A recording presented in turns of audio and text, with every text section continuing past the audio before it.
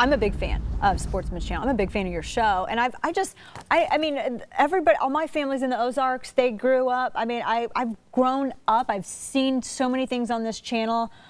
It's just something that It's we keep on in the house. of- Sometimes even when we're not watching anything, admittedly, we'll just like kind of keep it on. In the Well, our house. Spirit of the Wild show has been number one for uh, 24 years because we don't play games. We're down to earth. We're honest. It's tooth, fang, and I love claw. the fact that you don't monologue and you over like like and I'm not I'm not throwing shade on anybody, but I'm just saying when you are like demonstrating something, you get like right into the technique, you get right into the skill, and you really explain it. And there's not like a, I mean, it's just really you bring people feel like they're right out there with you hunting. It's awesome. Because political correctness is against hunting. Political correctness, the lie, the self inflicted scourge of political correctness, the dishonesty of political correctness is against everything that you and I stand for. Right. Freedom, independence, rugged individualism, self sufficiency, hunting, fishing, trapping, taking advantage of God's Right. annual harvest.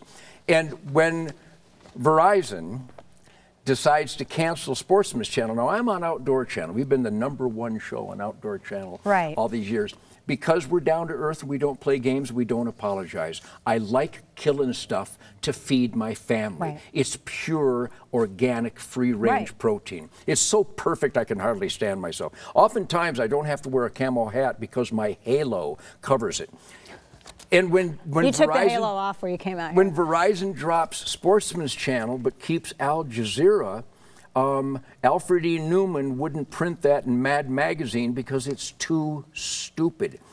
Sportsman's Channel celebrates real conservation, Right. the reverence for God's annual bounty, the meat, the protein, the sport, the trophy, the fun, the sustenance that it provides. It's, it's literally the last perfect environmentalism available to mankind. And they canned it? Are you kidding me? And I know that they, I mean, they have a good following, and I know that they still get. Great I mean, they have. ratings. I was going to say because I was looking at uh, their ratings. They have really good ratings as well. I mean, Almost I know the, the Blaze has been trying to has been trying to work something out with Verizon, but that, you know, it makes me nervous because when I see.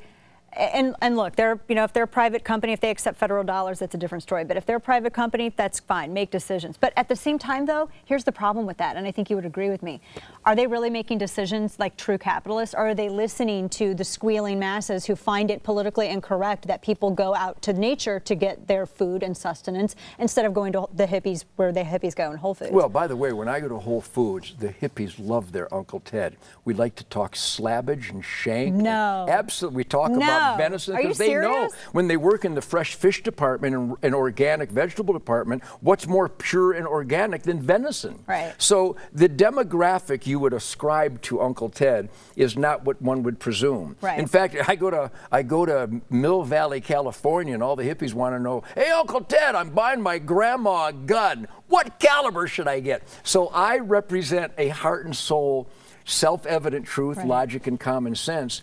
And my point of being here with you is because it's about we the people. Right. The only way political correctness can defy honesty and self evident truth is when we the people allow it to happen. When Obama wanted to ban the most popular ammunition in the world, it was the We the People National Rifle Association members Right. who spoke up and went, Whoa, whoa, whoa, wait a minute. let's you can't that." call deer bullets armor piercing and just ban an entire Right. most popular. So we stopped the political correct bureaucracies that attempted that, and we can do the same thing when they cancel our favorite TV shows. Right. And because it's they, a fascistic movement to do so. That's a tenet of fascism to try to drown out any dissent. Absolutely. And to have it removed from the public marketplace. That's not a function of a free society or a free have you noticed this?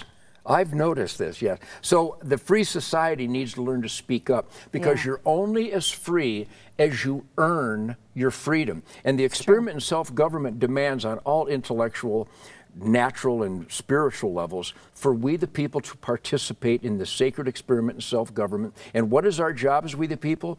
To raise hell.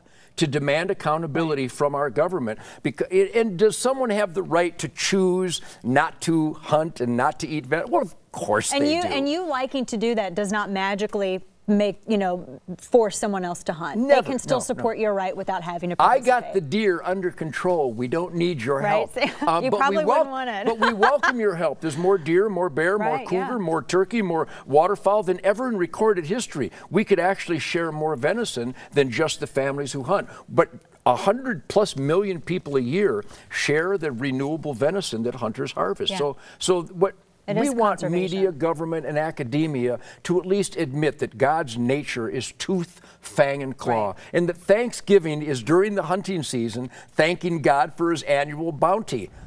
Duh.